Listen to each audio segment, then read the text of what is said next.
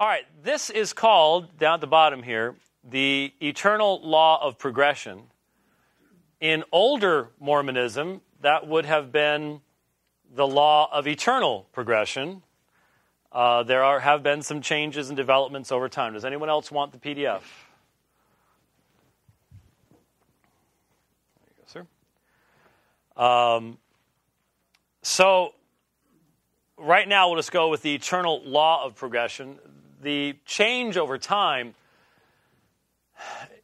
basically, the early Mormon formulation of these things was that you could never progress farther than your ancestors in the law of progression.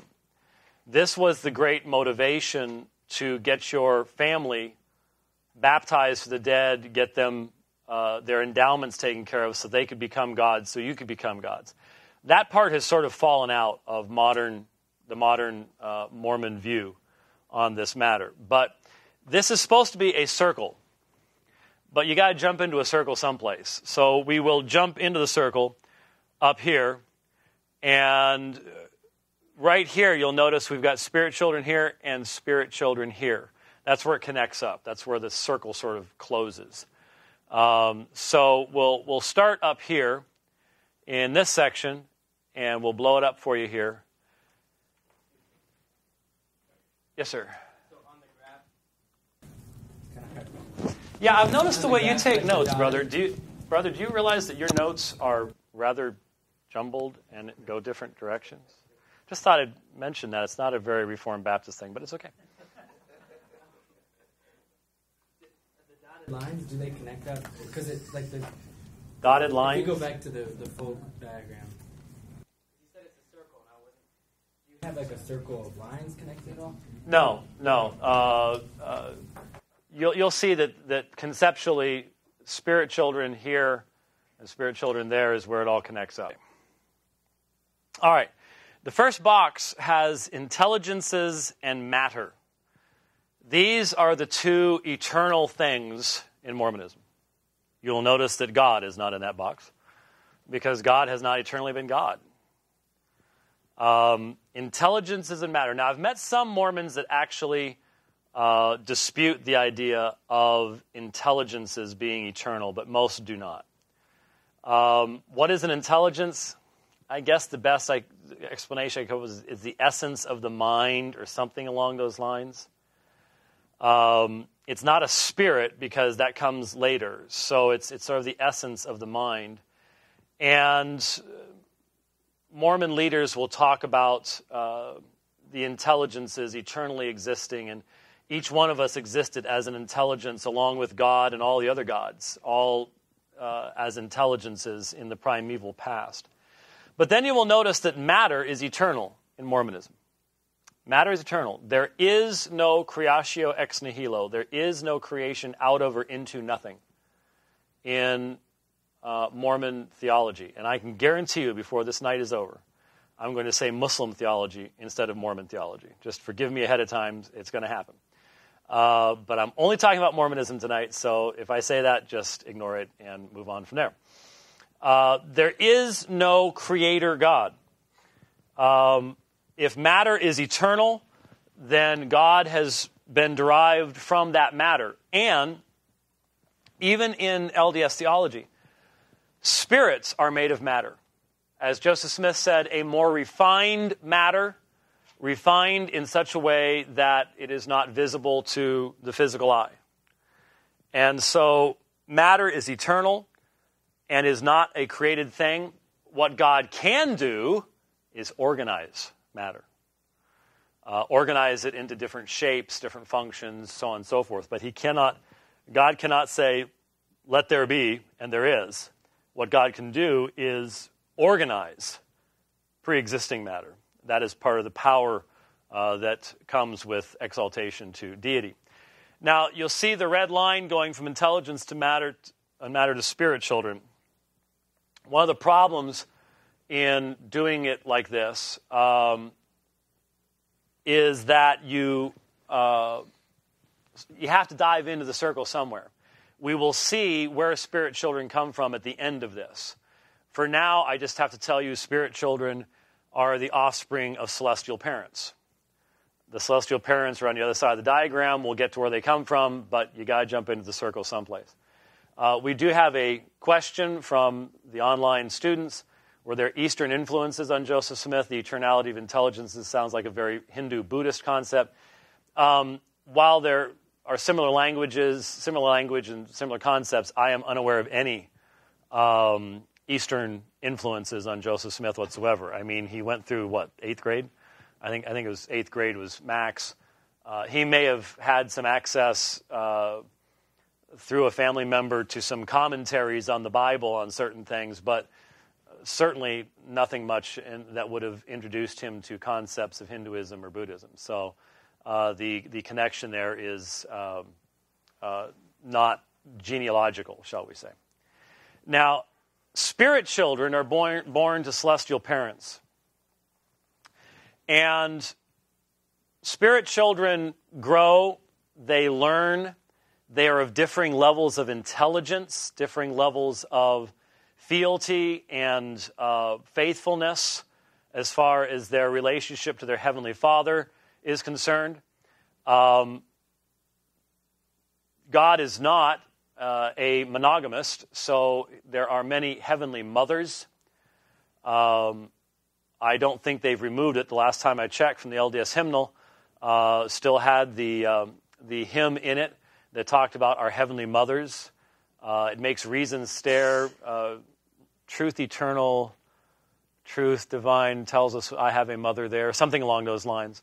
Um, and uh, so the uh, you won't hear this so much in talking with non Mormons, and maybe not so much today, I don't know, but uh, certainly many decades ago, there would be much more discussion, much, there was much more speculation amongst Mormons about uh, pre earthly relationships. For example, if you'd have, uh, I've had ex Mormons tell me about how uh, if you had two Mormons that were very, very close to one another, say two women who weren't uh, physical sisters, but they were just very, very close they would speculate, I bet we had the same spiritual mother. You know, there, there was a sisterhood that was, that, was, that was there because they had the same spirit mother in the pre existence. But the idea is that there is birth, there is growth, there is education uh, as a spirit child. And so, obviously, and, and we'll make application of all this to this planet, but obviously for us, that would mean that Mormons believe that we existed in a spirit realm as spirit children of our Heavenly Father before we came here to this earth. Um, that memory is removed from us. Most Mormons tell me so that we can be properly tested to see if we'll be faithful to reser- re- return back into the presence of Heavenly Father. Uh, uh, Granny Geer, Thelma Geer, uh, talks about old Mormon legends amongst the Mormon women back in Utah uh, that it was the shock of taking a six foot tall spirit child and cramming it into a little baby that caused the memory loss, uh, which I suppose would be somewhat of a shocking thing. So uh, uh maybe, maybe that's the explanation. I don't know. But uh, uh, we don't have a recollection of this. Now, you will notice there are two lines that lead from the spirit children realm a large, thick red line and a much narrower line here. We will define that much narrower line uh, I'll just tell you for now, you can see it here in the large right here. Uh, you can't see it real well, but that's Satan and the demons. We'll get to where Satan and the demons came from, but notice they go from the spirit realm. They do not go through the mortal realm. That line bypasses that and goes straight down here to hell without crossing this green line of resurrection either. We'll get to the reason for that as we move along. So, from the spirit realm, we go to this section now. From the spirit realm, uh, we enter into the period of mortal probation, which is where we are right now. Uh, physical existence upon uh, a planet. Uh, for us, it would be Earth, but from the Mormon perspective, there have literally been an unlimited number of planets like this on which human beings have lived and died uh, where there have been savior figures and God figures. And if you sort of think this through in your mind, if even a small portion of the faithful Mormon men over the past 140 years uh, since, uh, uh, well, no, you, have got 170, 180 years now, 180 years. Uh, April 6, 1830 was the founding of the LDS Church. We just want to take that as the sort of the date.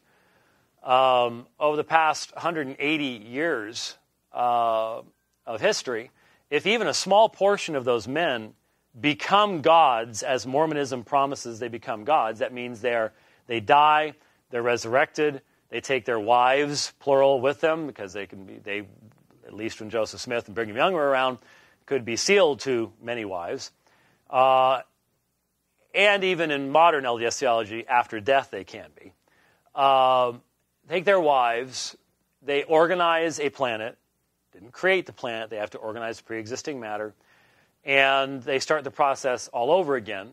Except now that Mormon man will be the god of his own planet, and his offspring will then inhabit that planet and start the whole thing all over again. So that would mean, logically, that you would have a, a very rapidly increasing number of gods. Because if this is happening on literally billions and billions of planets, the number of gods is increasing exponentially. That's why I said I cannot think of a more polytheistic system uh, than Mormonism is. And so uh, you can sort of see how all of this works. So, from the spirit realm, uh, these children go down into the mortal probation. Uh, most Mormons will tell you that this is where we are tested to see whether we are faithful to, re- to return back into the presence of our Heavenly Father. Um, out of that mortal probation, you see two lines. One is a purple line going up to paradise that's marked with an A and a B.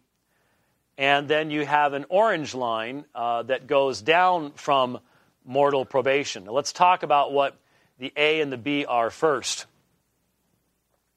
The A is the four fundamentals of the gospel. The four fundamentals of the gospel. The four fundamentals of the gospel that pretty much any Mormon kid can tell you are faith, repentance, baptism, and laying out of hands to receive the Holy Ghost. Okay?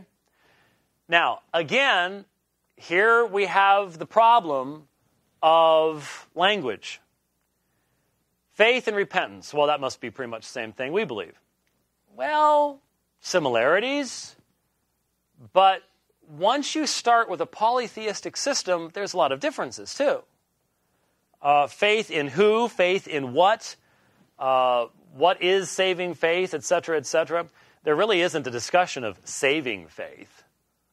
Uh, and this faith would include the acceptance of uh, the claims of Joseph Smith to prophethood and the issues relating to the uh, restoration of the church, the, the priesthood, and, and things like that. Repentance, yeah, it is repentance from sin, but there really isn't a meaningful doctrine of sin that, it, that correlates to our own in Mormonism. Um, yeah, breaking of God's law. There, there's a lot of guilt and, and, and worthiness issues amongst Mormons. There's no question about that. But there's, there's so many differences in. I mean, once, once you no longer have a, a creator God, and once we are of the same species as God, um, think about it. If God the Father of this world was once a man lived on another planet, like a Mormon, you know, Mormon missionary that I might be talking to. I say, Do you feel that you could become a God? Well, I hope to be found worthy to become a God. Are you a sinner? Yes. So when you become the God of your world, the God of that world will have once been a sinner, right? Yes.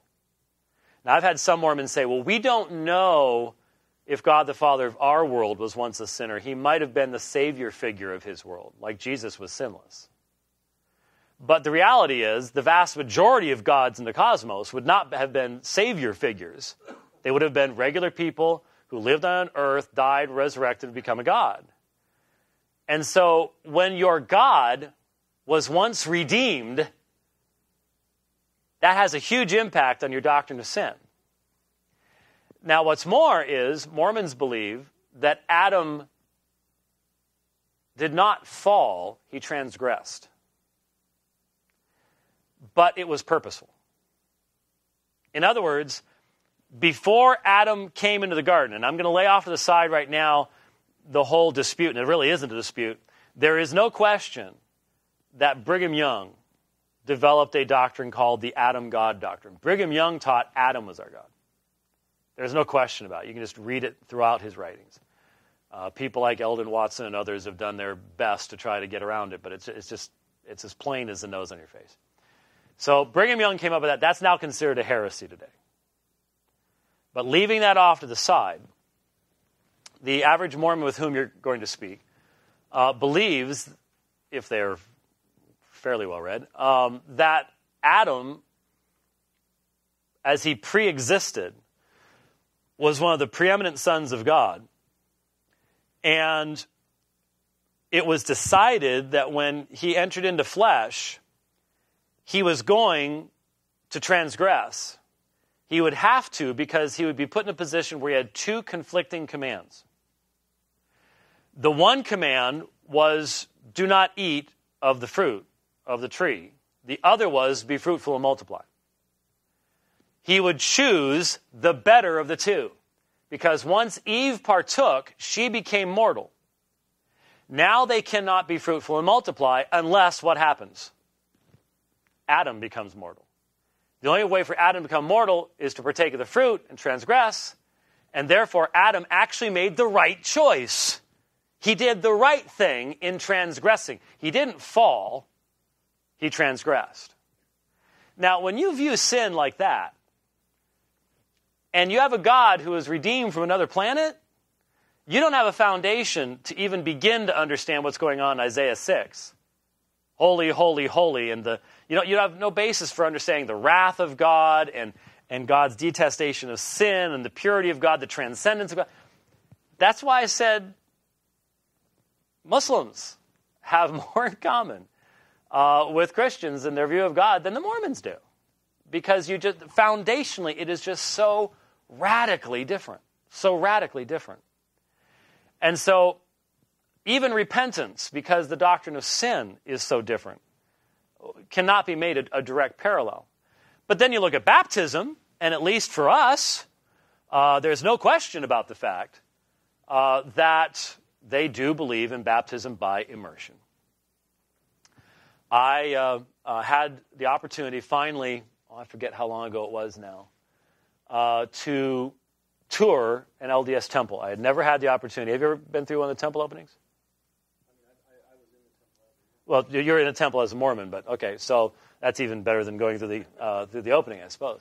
So uh, we've got a brother up here who knows the, the temple ceremonies, and we could probably do the five points. Of, we won't do the five points of fellowship, but uh, uh show you some of the uh, the endowment stuff a little bit later on, maybe. But um, I, I, finally, after years and years of studying Mormonism, had the opportunity of going through a temple. It was the, uh, um, uh, the Manhattan Temple, which was one of only two temples in the world that is not a freestanding building.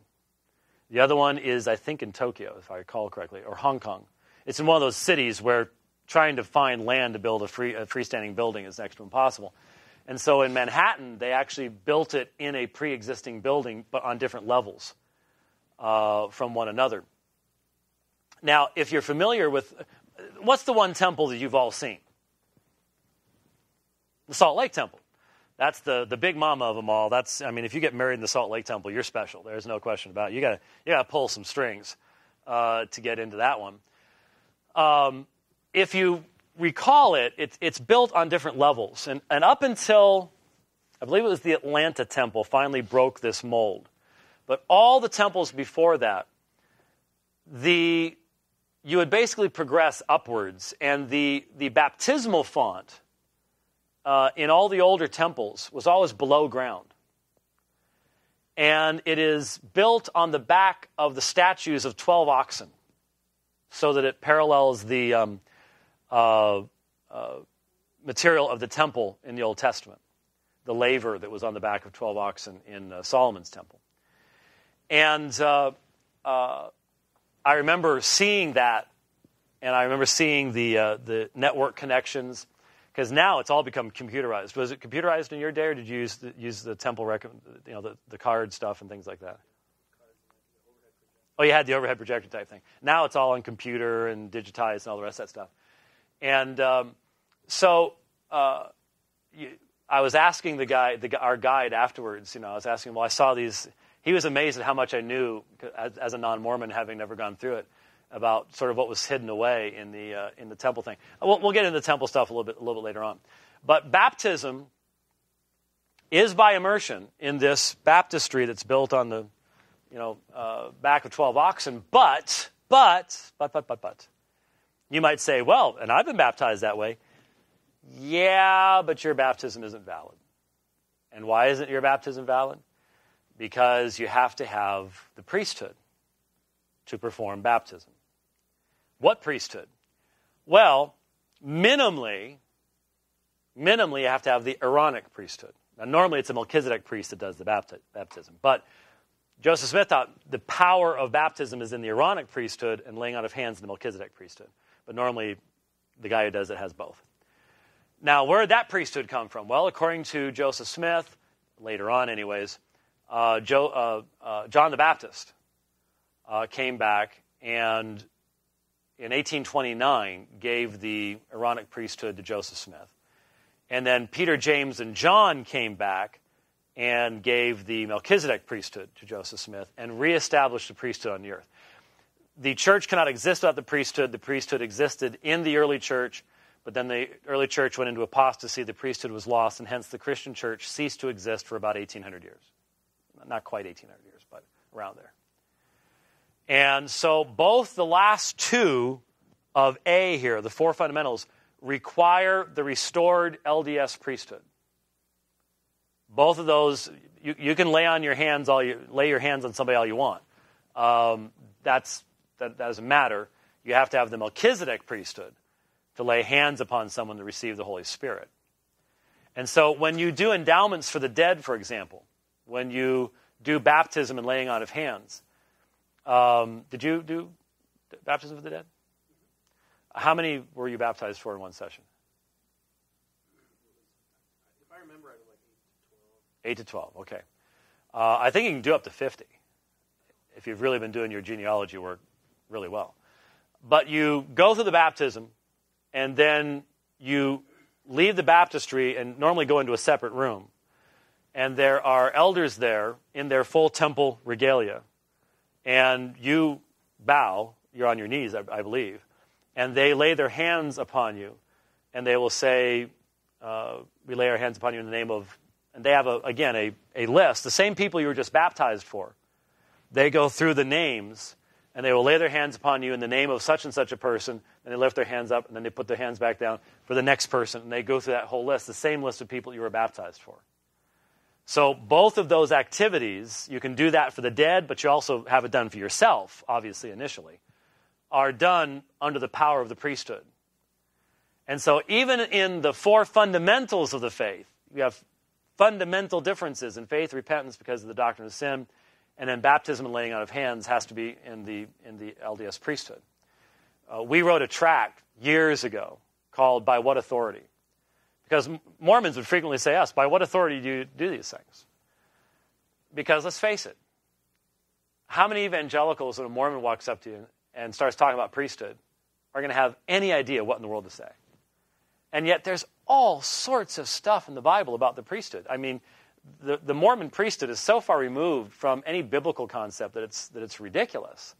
And so, one of our most popular tracks, especially amongst the young Mormon elders up there in Salt Lake City, was our tract on the priesthood uh, because they were really challenged by it. It's like, I'm not sure how to answer that. You, know? uh, you might want to think about that before you claim to be a priest.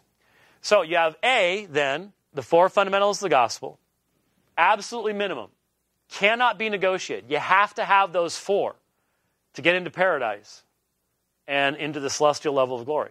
Has to happen. But that's not enough.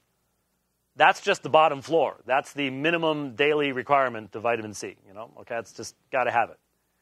Then we have a B there, and that is continued obedience to gospel rules and principles. And what might that be? Well, it sort of depends on which Mormon you talk to, but uh, it is, in essence, the living of a worthy life. Um, the following of the specific uh, guidance of the, the general authorities of the church, living in such a way that is, that is uh, considered to be uh, the worthy, necessary ways. It's, it's works righteousness, is what it is. I mean, you read it. Remember, remember the introduction just a few hours ago uh, that we went through in regards to uh, celestial marriage and, and, all the other things that are added in. Um, and it is that B that will determine where you end up in the celestial kingdom, because the celestial kingdom itself has different gradations and levels. Uh, you can be in the celestial kingdom, but on the lower end of the celestial kingdom, if you do not do everything that you're supposed to do to uh, uh, prove your worthiness to uh, enter into paradise and into the celestial kingdom. Okay? So, let's look back at where we are now in our, our section. Let's, let's, instead of going upwards, let's uh, go down here to this section of the, uh, this section right here. Because the line that went up to paradise, the small purple line, is pretty thin. Today, there are 13 to 14 million uh, Mormons in the world. That's a pretty small percentage in comparison to the over 6 billion people on the planet. The larger line comes out of the mortal probation and goes down to the spirit prison. The spirit prison. Now, what is the spirit prison? Well, generally, uh, Mormons will uh, make reference to uh, the spirit prison referenced in uh, 2 Peter. Um, the spirit prison is where all non Mormons go uh, who did not have the four fundamentals of the gospel, those four things that need to have happen to get up on that purple line, uh, end up in the spirit prison. So that might mean moral uh, Christian believers and uh, Muslims and Buddhists and atheists. Everybody, end, everybody ends up in the spirit prison. Yes, sir.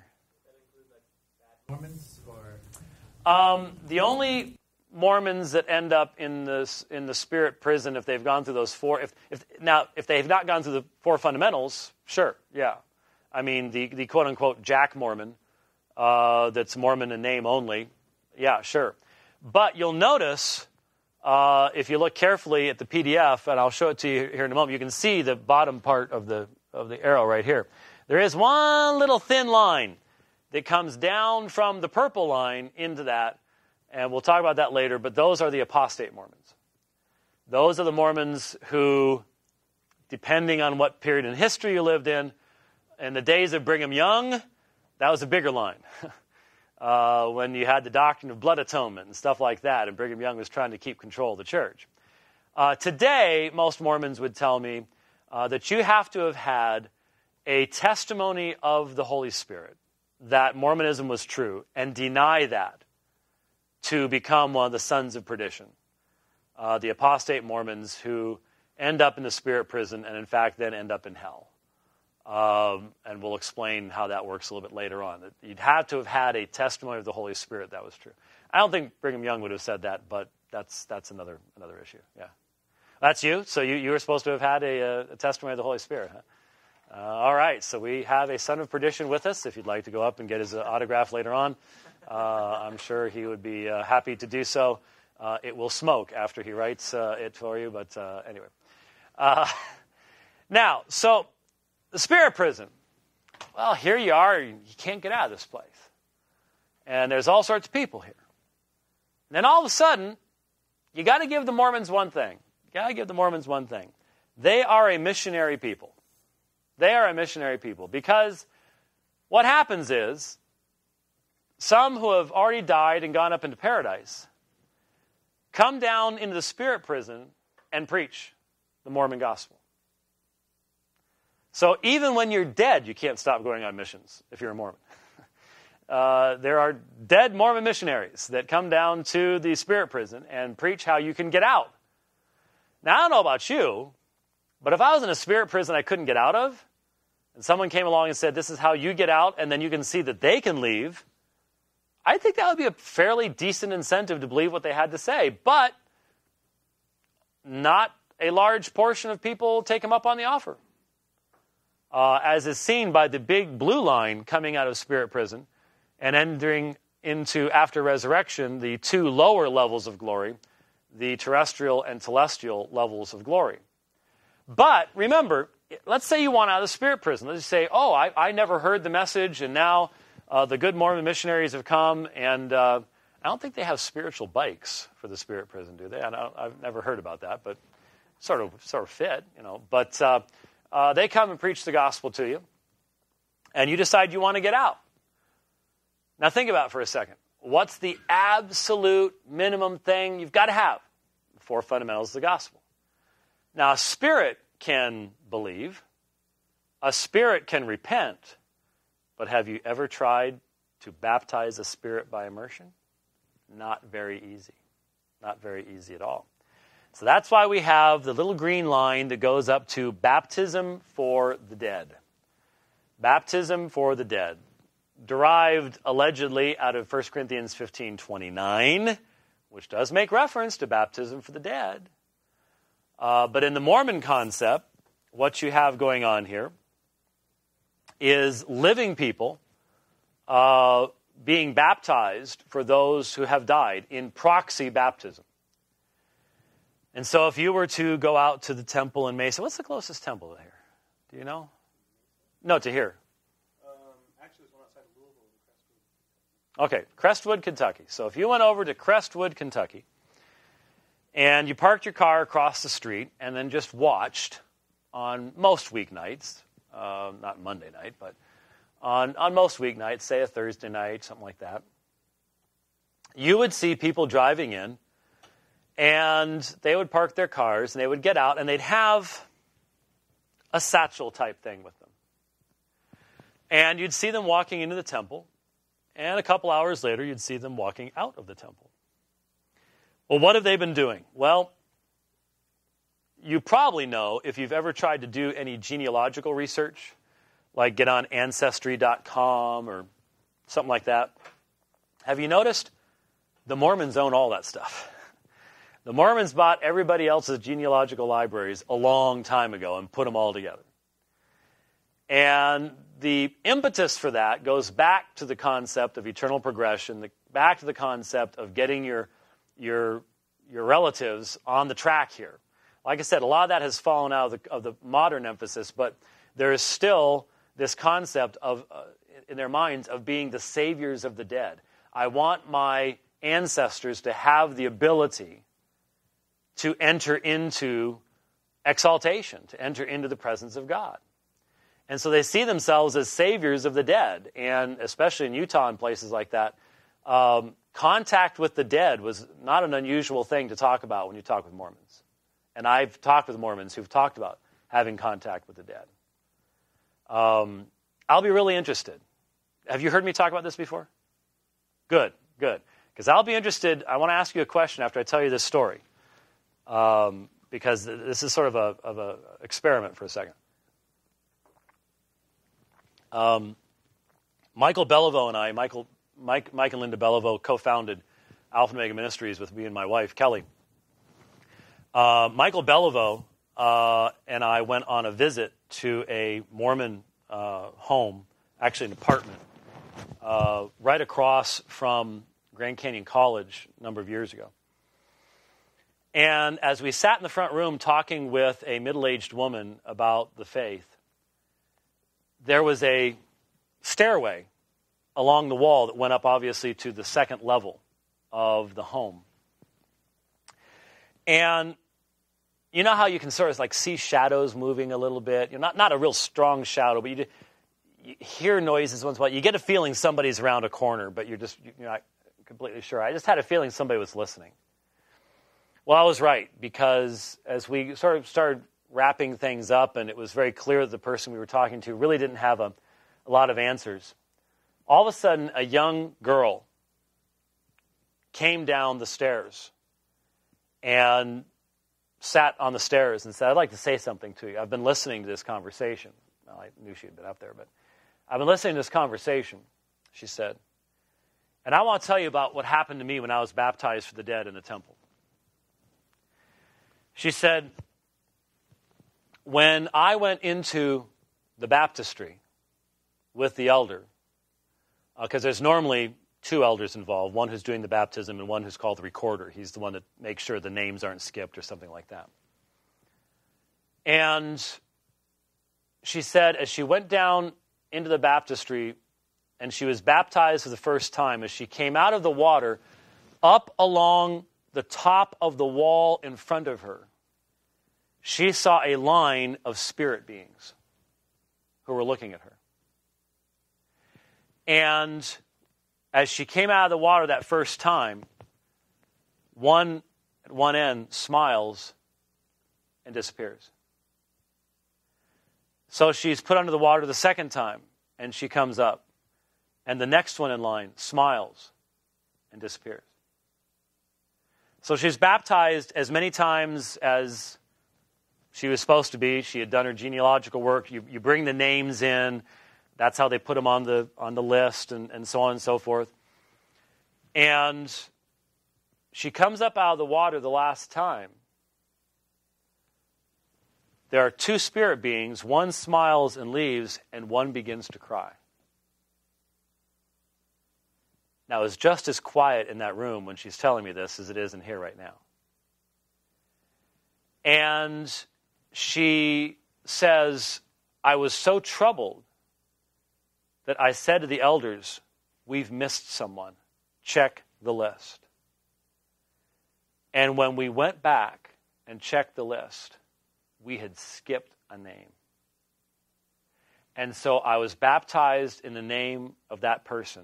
And as I came out of the water, the spirit that had been crying smiled and disappeared. And she said, I don't care what Bible verses you show me. I saw that, and that proves Mormonism is true. Now, have you ever heard that story or some something similar to it? It sounds very familiar with that kind of. Yeah. The reason I ask is that someone else later told me a very similar story. So I have to wonder if it's the when the Christians are asking you questions you can't answer, throw this one at them and see what happens type thing. But I didn't get that feeling that night. I did not get the feeling she was just, oh, I'm going to throw something out there. Uh, she was very adamant about what she said. Now, I leave it to you how you would answer something like that. It was quite the experience. It certainly tests your dedication to the finality of the Word of God and how you can bring that to bear in someone's life. Uh, but uh, that's, that's something to be mentioned. By the way, I just happened to notice a question in, uh, online.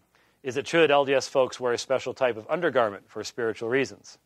Uh, the answer is yes. Uh, Mormons wear their temple garments. The temple garments have changed over the years. Um, the LDS temple ceremonies were deeply influenced uh, by Joseph Smith's involvement in Masonry. Uh, in fact, there are many people who feel that the people who killed Joseph Smith in the Carthage jail were Masons because he had revealed the secrets of their temple ceremonies. It is true that as he went out the door, out the window, uh, as they were shooting at him, uh, he was giving the Masonic distress signal. So that would seem to indicate that uh, there was something to do with that. Who knows? There's all sorts of different stories. But um, the, the point is that I once had an ex Mormon in, the, uh, in a class I was giving on Mormonism, and we went through the various handshakes. Um, would, would you mind if we? Okay, all right. Um, uh, do you know what the sure sign of the nail is? Okay. There are there are handshakes that you that you do, and um, I went through these with this former Temple Mormon, and after the pro, the uh, class was over, a uh, guy came up and he pulled his thing up and he showed me his watch. It was a Masonic watch with all the symbols around the 32nd uh, degree Mason, and he said, there were levels of our temple you could have gone through with what you just did. I was like, Really? Might tell you something about what you're doing. Uh, but anyway, uh, it, was it was very very uh, interesting. Uh, but that's all that's all involved uh, with baptism for the dead and the idea that they have that they are in essence saviors of the dead uh, through this through this mechanism. And so I would think they'd be running out of folks to be baptized for by now, to be perfectly honest with you. They've been doing it so long. Uh, and records only go back so far. I mean, there are certain cultures that this is totally irrelevant in. There's no way you could ever do the type of documentation to be able to do this kind of baptism. And Mormons believe that during the millennium, the temples will be operating and doing baptism for the dead so that everybody in the spirit prison will have the opportunity, if they want to get out, the last two elements of the four fundamentals will have been done for them. And yet, a large portion of those people will not. So, what will happen is at the day of resurrection, right here, that's the green line here, at the day of resurrection, they will be judged on their works. And they will go to one of three levels of glory. So let's look at what the three levels of glory are here. Here you have them celestial, terrestrial, and telestial. Now, if you were to stand at the side of the um, temple in Salt Lake City and look at it, have you been to Temple Square? Yeah. You will see three rows of stones. The upper row at the top are various uh, phases of the sun in the middle is the moon, and the bottom is stars. These are the three levels. Joseph Smith derived these three levels of heaven from um, Acts, 1 Corinthians chapter 15, where he talks about the three levels of glory. There's a glory of the sun, there's a glory of the moon, there's a glory of the stars. And there it is in stone on the side of the Salt Lake Temple in the Salt Lake City. But then after Paul says that, he then says, and there is a glory celestial and a glory terrestrial. Now, here's where, you know, if, if, you, if you ever really want to, one of the first books I would suggest you read, if you're going to be doing um, ministry amongst Mormons, is a I think it's still blue covered book, hardback from Deseret, I think, or called Teachings of the Prophet Joseph Smith by Joseph Fielding Smith. Now, why is that so useful? Because it's in chronological order. And so you can see the development and evolution in Smith's thought from beginning to end. It's really useful. That is also where you will find the King Follett Funeral Discourse, which, if you read anything on the Mormon doctrine of God, you will see in Is the Mormon My Brother, I have major sections of the King Follett Funeral Discourse. Because it is the single most commonly cited sermon of Joseph Smith by Mormon leaders for the past 150 years. So it's not like, oh, we're going to pick on this. Now, the Mormons uh, have, have, used it. it. It really laid out his final, right before his death, this is only a matter of weeks before his death, uh, final view of, of God, which was not the view that he had when he wrote the Book of Mormon, by the way. You will not find any of this stuff in the Book of Mormon. You can read the Book of Mormon until the cows come home, and you're not going to run into space gods from Kolob. Um, oh, by the way, I forgot to mention to you. I didn't give you the, the, the coolest parallel with Battlestar Galactica. The, the planet they're looking for is Kobol. According to the book of Abraham, in the Pearl of Great Price, God, God the Father of this planet, lives on a planet that circles a star named Kolob, K O L O B. They just switched the two letters. So that's the star that is the, the sun for the planet on which God lives, is Kolob. So Kobol, Kolob, I forgot to mention that. I'm sorry. Uh, you remembered that, but I, I, I forgot to mention that. Uh, I was so intent on Adama and uh, Alpo food and stuff like that. So anyway, um, so now that, that got me all, all, all messed up here. So you, Joseph Smith sees that you have sun, moon, stars, three levels of glory. But then Paul says there's a celestial glory and a terrestrial glory. Now, Joseph Smith did not understand the Bible very well. Okay? And some of his exegesis, uh, that's, why, that's how I got to Joseph Fielding Smith's book, is just amazing. Just absolutely. Some of the comments he makes in that book will, if it weren't for the spiritual damage that is done, would make you chuckle. They really would. What he does is he, obviously, he had no idea that the King James has a little bit of an editing problem. Now, a little history here. The King James was translated by scholars at various locations.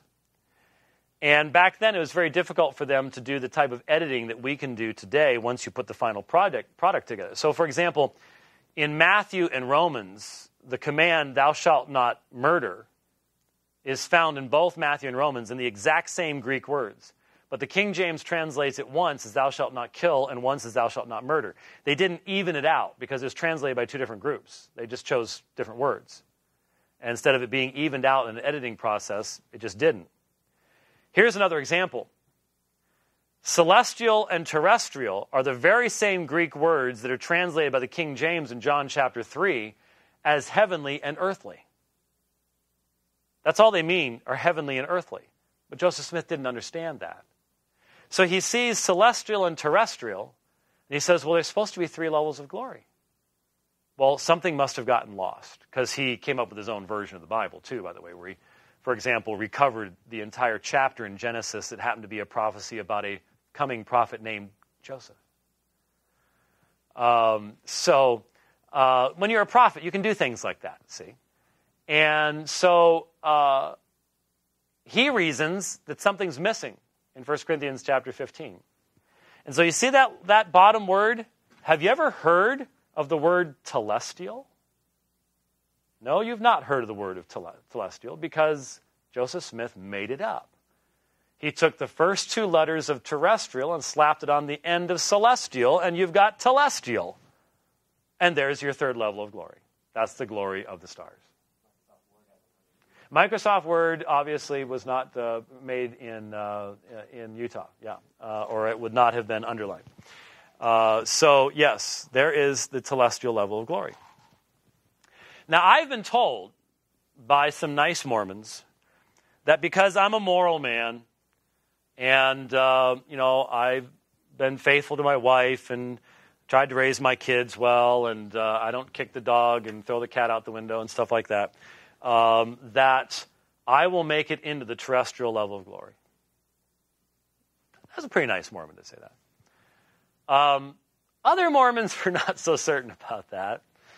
Uh, the first time we ever passed out tracts in Salt Lake City, Mike Beliveau and I were up there in May. May of 1983 or 84. I think it was 84. Uh, I have it written down someplace. And it was a warm day in May in Salt Lake. And so we were passing out tracts, and I decided I was going to go over to the Howard Johnson and get something to drink because we didn't have any water bottles with us or anything. And so I'm walking across uh, North Temple and West Temple. And I had caught up with an elderly Mormon man who has left the temple and he's got his he's got his bag with him. You know, he, so he's just he's just left the temple from being baptized to the dead, okay? So he's walking across and I decide, well, I've got my tracks with me. And so as, we're, as I catch up to him, I say, uh, Can I share something with you, sir? He looks at it and he knew who I was. He had, he had walked past me out of the door. He goes, Go to hell. And I looked at him and said, Sir, according to your theology, I can't. And he was so frustrated because he knew I was right. Because you see, I'm not a former Mormon. I'll, what he should have said was, Go to the celestial kingdom. Because at least then it would have worked. But you see, I, I can't get down here because I'm not one of the apostate Mormons. I've never been a member of the Mormon church, never received a testimony, anything else. I, I, I said, Sir, I, I can't go there, according to your own theology. And he knew I was right. And so he was very unhappy about that. But he did not take the tract either. So It was a uh, lose lose situation there. Let's look at the top right corner here. Uh, oh, by the way, um, yeah, I think I'll go back to it. I'll, I'll mention it there. Let's go. Let's go at the top and then go down to the bottom from there. When a Mormon dies, he goes into paradise, and from paradise, those missionaries are sent down to the spirit prison. When a person in the spirit prison repents and believes, and someone back on earth is baptized for them, then they can be released from the spirit prison and go into paradise. That means there might be people, and this is one of the motivations for really working hard on your genealogies. There might be people in the spirit prison that have repented and believed, but they can't get out yet because there's no one who's done the proxy baptism for them yet. So you want to make sure that you do due diligence in doing your genealogy work so that you can make sure that those people have the opportunity of getting out if they want to. See, I mean, it, it's sort of a pressure that's placed upon you. So you go to paradise. So then at resurrection, and resurrection, very, very important. Did you notice? Let me, let me back up here a second. Oops, didn't mean to do that. Uh, back up here a second so we can see this. Notice that uh, the people who go into the terrestrial and celestial levels of glory are resurrected individuals. They've crossed that green line. That means they receive their physical body back but in a slightly altered state. Because those in the celestial and terrestrial levels of glory cannot have children. One of the powers of God, two, the two things that mark God off the power of the priesthood, and the power of procreation. The power of the priesthood and the power of procreation. The people in the terrestrial and celestial levels cannot have increase of seed for eternity. Okay? But the people who go up to the celestial level, that's different. They receive their bodies back, and those who have been married for time and eternity in the celestial marriage ceremony have the ability to have children they receive exaltation as gods. They start the process all over again, and that's where the spirit children come from that was over on the other side of the diagram. Okay? However, there are levels even in the celestial kingdom. I, uh, I got this wild idea back in the early 1980s while I was teaching a class on, uh, on uh, Mormonism. I said, you know what? why don't we pick a Sunday? And what had happened was I had gone and visited the Glendale 6th Ward. The Glendale 6th Ward. And I had shown up on the first Sunday of the month. So, what's first Sunday of the month? Fasting and testimony meeting. Fasting and testimony meeting. And what had happened was on fasting and testimony meeting, I don't know what it was like in the ward that you were in, and if, it probably differed from, from month to month, but um, people would get up and they would go up front, sometimes be one of the missionaries or something like that, and they would give a testimony about how they know Joseph Smith is a prophet and at the time Spencer W. Kimball was a prophet, and uh, uh, little kids would come up front and and they'd you know get the microphone down to them and they'd say, "I love my mommy and my daddy, and I have a testimony that Joseph Smith was a prophet. Amen." And everybody go, "Amen," and and uh, so on and so forth. But when I was there, it got really quiet, and for quite some time, nobody did anything. We just all sat there. Well, it wasn't actually really quiet because there's a lot of kids in there and there's a lot of moving around, and it'd be very distracting for a lot of us. Um, but nobody did anything. And I remember as my wife and I walked out, she sort of looked at me and said, What are you thinking? She could just tell. And I said, Well, they didn't say members only. And so a month later, I and uh, four other of my friends went back to the Glendale Sixth Ward. And I had memorized a whole list of scriptures on justification by faith. And so when it came when it came time for the testimonies, they said, anybody would like to have a, give a testimony? Come on up front. So I didn't want to be the first one up, so I waited till somebody gave their testimony. But then I got up. Well, it just so happened that right as I got up, somebody got up on the other side and beat me to the front. So I had to sit down next to the bishop while the other guy gave his testimony. And then I got up. And I got behind that pulpit. And I said, Well, it's nice to be with you today. I would like to give uh, my testimony. I'd like to start off by saying that I am not a member of the Church of Jesus Christ Latter day Saints. I don't know how this happened, but even the little kids that were making noise shut up. you could hear a pin drop in this room, okay? It was just like a collective. Everybody is just riveted. I mean, before that, you know, people are looking at bulletins and thumbing through hymnals and, you know, just daydreaming. All of a sudden it's like, and so I had a captive audience.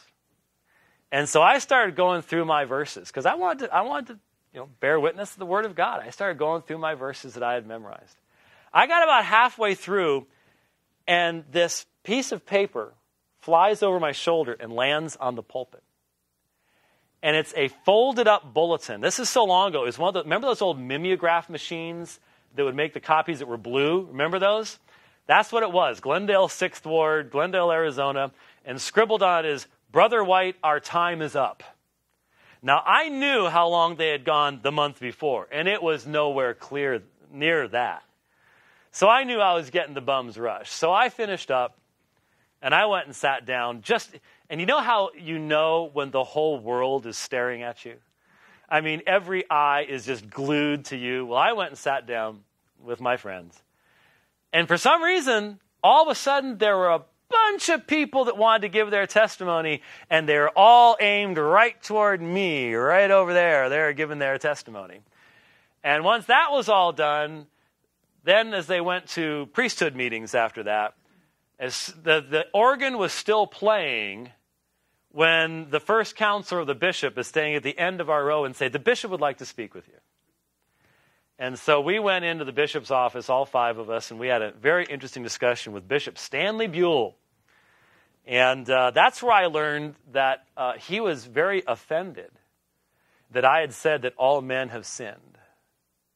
Because he said, I've heard the prophet say he knows of some men who are perfect. Oh, well, guess I'll have to memorize a few more verses on the universal sinfulness of man. Uh, wonderful, that's great. Um, but in our conversations, believe it or not, this is all coming to a point. In our conversations, one of the things he asked me, he said, How long have you been married? I said, Well, about two years. Is your wife expecting? Uh, no, not yet. You see, singleness and no kids is not big in Mormonism. Because you see, one of the reasons you get married, ever noticed Mormon families tend to be a little bit on the large side? Well, the reason is not necessarily the reasons that sometimes we have large families. The reason is you've got literally billions of spirit children waiting to get bodies on earth. And if you are so selfish as to not help provide those, those bodies, well, you're not being a real faithful follower of the Heavenly Father. And so being single, not a big thing. I mean, he was glad at least I was married and I was planning on having kids. But being single, mm, that's that that's mm, Mormonism isn't big on, on singleness. What happens if you're a single Mormon? What happens if you're a Mormon who isn't married in the temple? You do everything else. You've, you've received your priesthood, you've, you do everything else, but you are not sealed for time and eternity. What happens to you? Well, you can still go into celestial glory, but you know what you become? Well, l- let me ask. Do you know who uh, who was Noah? Do you know? Gabriel. You become an angel. Become an angel. God's been an angel are all the same same order of beings, just different levels of exaltation. But you become an angel because you were not sealed to your wife for time and eternity, and therefore, actually, if you were married, but not in the temple, your marriage will not survive your death.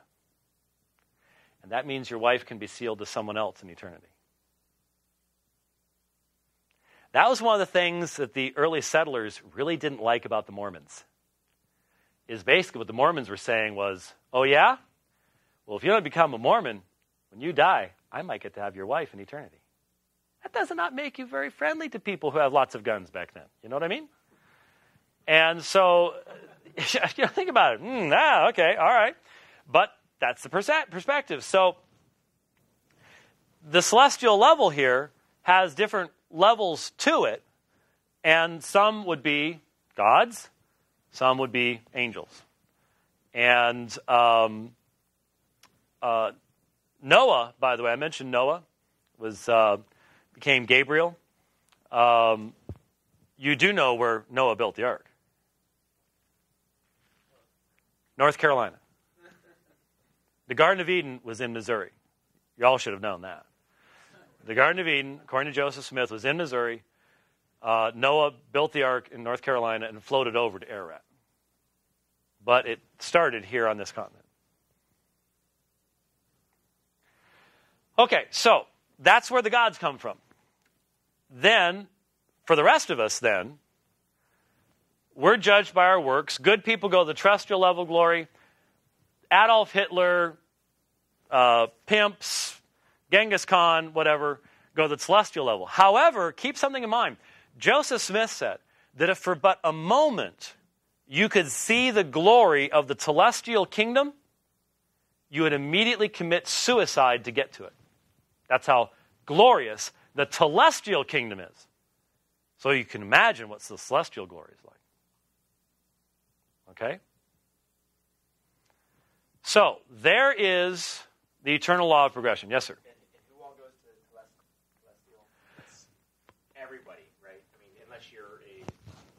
No, if you're if you're if you're a if you're a moral person, uh, you'll end up here in the terrestrial level. If you're really bad, you end up in the telestial. You're, you're judged on the basis of your works. But you receive your physical body. Now, here's another place where the, the language fails us. Everybody in the terrestrial and telestial level is damned. They're all damned. As in, damned up in their progression to godhood. They had the potential, but they've not lived up to that potential, and so they are damned up in their progression to godhood. See, so same same words, different lexicon. Eternal life, eternal lives, etc., etc. All right? Yes. Oh yeah, yeah. We're gonna get to that in a second. We'll get to that in a second. Now, I did mention Notice this thin little line here from spirit prison down to hell, and how Satan and the demons over here don't cross this line. The line specifically stops there, and that's on purpose. That's on purpose. Why? There is somewhat of a consolation prize for you, brother. Uh, we'll use, since you have identified yourself as one of the uh, sons of perdition, the former Mormon does get somewhat of a consolation prize. A lot of them are, are not aware of this, but evidently you are, uh, given that your head was nodding. Um, the apostate Mormons are the only ones who come from spirit prison into hell. But they get their bodies back. Satan and the demons, and I'll explain where they came from when I apply all this to this world in a, in a moment. Satan and the demons don't get a physical body. They were cast out before the mortal probations. They don't get a physical body. And so, our brother here will get to rule and reign over Satan and the demons in hell because he got farther in the law of eternal progression than Satan and the demons did. There you go. That's where that's why I emphasized where the line went here is that they get their body back Satan and the demons do not, and so they actually have a higher position because they progressed farther in the process. Uh, and that's how that works. Was this different for you? Um, I'm not a former Mormon, so. Well, no, well, they, they, didn't generally like the term hell. They saw that as a Christian concept. Yeah. They preferred the use of outer darkness. Yeah, outer darkness. Yeah. Yeah. That's true.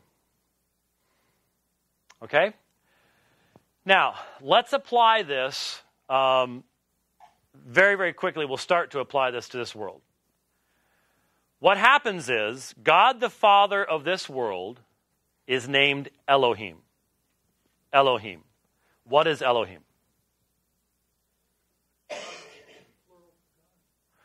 Well, Elohim is El Elohim. Elohim, if it's used with a singular verb, is just means God. If it's used with a plural verb, then it would be gods. But it's the, just a general, generic Hebrew word for God in the Old Testament, Elohim, translated theos in the Greek Septuagint or in the New Testament. Elohim was a man who lived on another planet. He was faithful on that planet. He was married to his spirit wives on that planet. He followed the four fundamentals of the gospel and continued to be in the gospel rules and principles. And when he died, he was resurrected uh, along with his wives. Uh, and by the way, the resurrection of the woman is dependent upon the priesthood power of the husband. Uh, this is a very patriarchal system, uh, given polygamy and all the other aspects of it that uh, go along with it. A very patriarchal system. And he came and organized the earth. His first-born spirit child in the preexistence is Jehovah, who is Jesus. So Elohim and Jehovah, and that's what I was throwing at you, Elohim and Jehovah are separate and distinct gods. Now, this is somewhat of a little bit more modern Mormon definition because you can demonstrate Joseph Smith really didn't believe this part, but there is a specific statement of the first presidency of the LDS Church from the beginning of the 1900s that, that lays all this out, so that's the official dogma as it exists in the church today. So Elohim and Jehovah are separate and distinct gods. One is the father of the other. Elohim has many other offspring. I have been told with confidence by some Mormons that God has at least 40 billion offspring. We haven't obviously gotten even half of them on earth yet. When it came time, when he had enough spiritual offspring born, it was time to start the process of the mortal existence and the law of eternal progression and all a council of the gods was held. And in this council of the gods, which is Elohim and his offspring, Jesus, his firstborn spirit child, presented the Father's plan for this world. And basically, Jesus' plan was that salvation would be Arminian the Mormon concept of free agency. That everyone would be given a free choice as to whether they would return back into the presence of God, whether they would become gods or not. It would all be up to us. But another of the mighty offspring of Elohim was named Lucifer. Now, think about that moment. If both Lucifer and Jesus are the offspring of Elohim, what does that mean?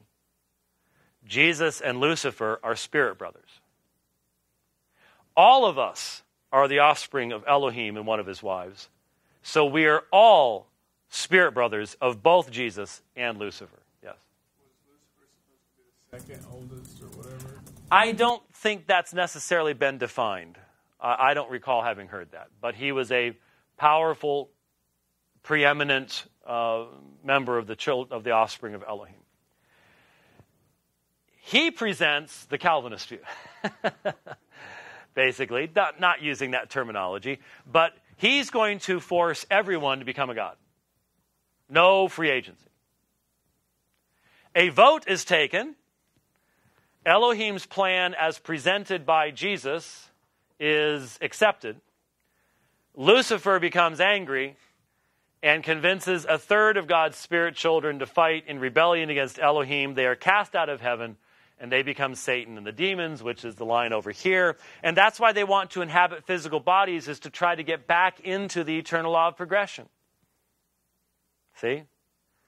But they eventually are cast into outer darkness, but they never receive those physical bodies. And that's why our brother here gets to rule and reign over them. okay? Yes, sir. The Gospels would be vastly different in terms of what Jesus is doing in exorcism. Trying to get back into some sort of Well, they would see they would see Jesus prohibiting them from doing that. But yeah, the purpose of Satan and the demons and the nature of this of them as being, you know, offspring of God and so on and so forth would be completely different. Yeah, they see the same kind of conflict, but it has a different origin. Okay. All right. Um, not done making application yet, but we're out of time, so we're going to need to take our break. We come back, we'll finish making application, and then talk about witnessing to Mormons, and we'll go from there.